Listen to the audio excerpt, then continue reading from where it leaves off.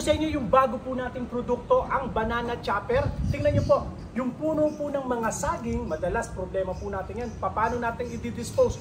Pwede po nating pakinabangan po yan. Pwedeng maging fertilizer, organic fertilizer, at pwede rin po yan pakain sa ating mga alagang hayop. Minsan chinachap-chap pa po natin yan manually, pero sa pamamagitan po ng machine na ito, mapapabilis po nito ang ating pagtatrabaho. Testingin po natin, pakita ko po sa inyo kung gaano ka-effective.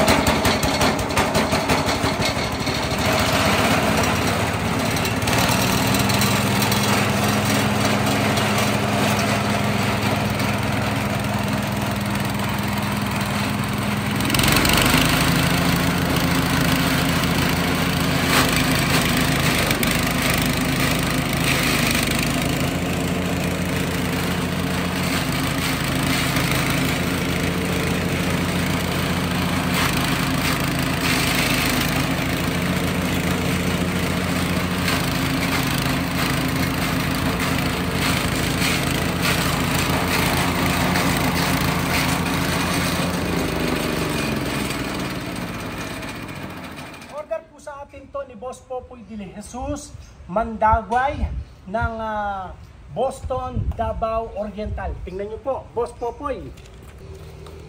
Yan, durug na po, oh. pwede na po yung pakain sa ating mga alagang hayop. Banana chopper po yan, ang tawag po dyan ha.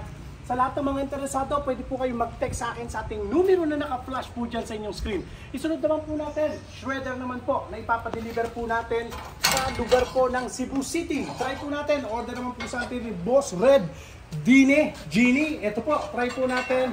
Bago po natin ipa-deliver, testingin po natin.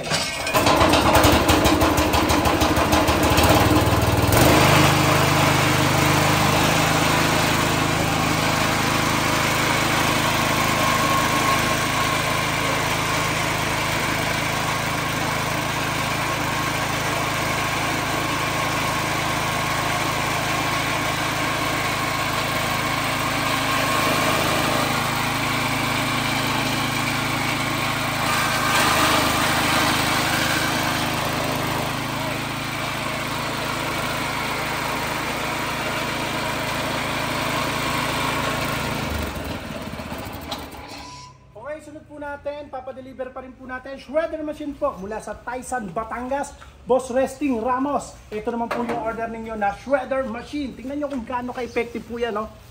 Durug na durug po yan. Hindi na kayo mag-chop-chop-chop, maggamit ang itak. Ito na po, pabilisin po natin ang trabaho natin. Testing po natin, Boss Resting Ramos.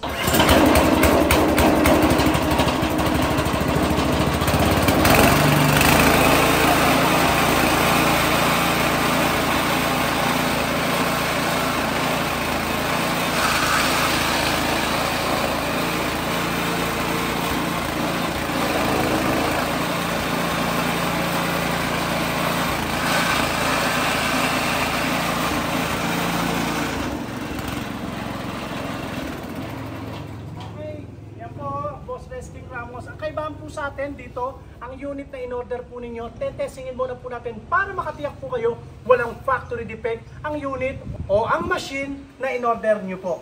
Maraming salamat po sa lahat po ng mga interesado. Pwede po kayo mag-text sa atin sa ating numero na naka-flash po dyan sa inyong screen. Pwede po kayo mag-comment o kaya ay mag-message sa ating pong mga social media account sa Facebook at sa YouTube. Search nyo lang po, Discarte Pinoy TV. Maraming salamat po sa lahat ng nagsi-order sa araw na ito. Pakishare niyo po yung video po natin sa mga kakilala o kamag-anak po ninyo na nag-aalaga po ng mga hayop. Baka kailangan po nila to. Ingatan nawa po kayo ng Panginoon. God bless po.